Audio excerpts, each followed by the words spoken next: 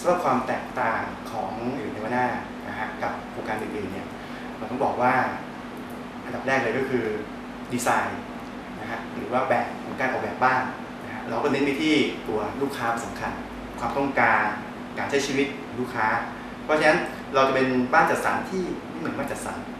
นะฮะลูกค้าเข้ามาแล้วมีส่วนในการช่วยร่วมในการดีไซน์บ้านตัวเองด้วยอันนั้นก็อันอันที่สองทำเลตั้งเอง เราเลือกในบริเวณแถบเรียบทางด่วนรามรามไทยเอกมัยซึ่งคุณก็ทราบดีว่าในปัจจุบันเป็นทำเลที่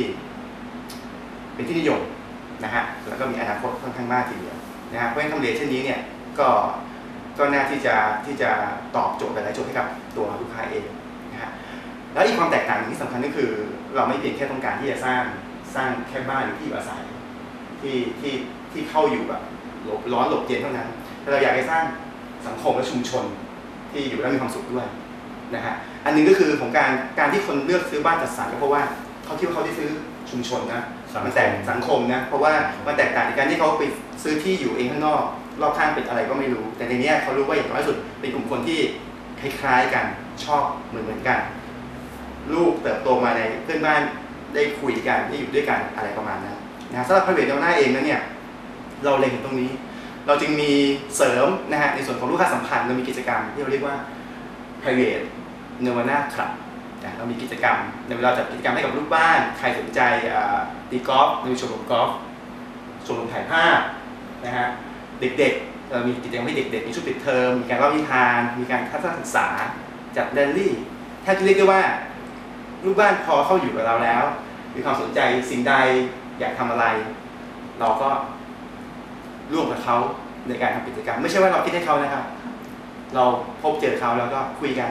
เหมือนอยู่เพื่อนเพื่อนบ้านด้วยกันอยากทำอะไร อยากมีอะไรเราก็เพียงแค่เหมือนกับเริ่มต้นให้แล้วทุกคนก็ทำกิจกรรมร่วมกันผมคิดว่านี่ก็เป็นความแตกต่างที่สำคัญอันหนึ่งทีเดียวแล้วก็อีกเรื่องหนึ่งที่อยากจะบอกก็คืออย่างที่โครงการของเราเนี่ยข้อจุดจุดที่เป็นสิ่งหนึ่งที่ทำให้ลูกค้าตัดสินใจก็คือเอ่อลูกค้าเข้ามาชมโครงการ ก็จะเจอผู้บริหารตลอด นะครับ แล้วก็ลูกค้าก็สามารถที่จะคุยกับทางผู้บริหารเราได้แทบจะทุกครั้งที่เข้ามา ก็จะเป็นอะไรที่ทำให้ลูกค้าเกิดความสบายใจ แล้วก็ไว้วางใจเราเพิ่มมากขึ้น ก็อยากจะฝากถึงลูกค้านะครับที่มองหาดูบ้านนะครับ ก็คือหนึ่งก็คืออยากจะให้ดูโครงการหลายโครงการเพื่อเปรียบเทียบนะครับ เพื่อประกอบการตัดสินใจในระดับราคาที่ลูกค้ามองนะครับ แล้วก็ดู ถึงตัวเนื้องานจริง ๆนะครับ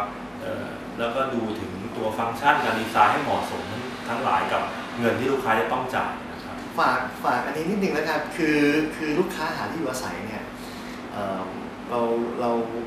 คือเราทำเราทำบ้านเนี่ยคือผมมีความเชื่อว่าสถานที่ที่อยู่แล้วมันเป็นบ้านจริงๆเนี่ยมันมันเป็นเรื่องความรู้สึกนะครับ เราก็มีความรู้สึกว่าเออความรู้สึกตรงเนี้ยบางทีมันมัน เข้าไปแล้วผมว่าคือเข้าไปแล้วมีความรู้สึกว่าอบอุ่นแล้วรู้สึกว่าอยากอยู่อาศัย ผมว่ามันเป็นความรู้สึกต้องต้องต้องอาจจะต้องใช้ความรู้สึกสัมผัสนะครับ ตรงนี้ในการเลือกบ้านที่อยู่อาศัยคือเป็นเชิงนามธรรมนิดนึงแต่ต้องลองดูครับ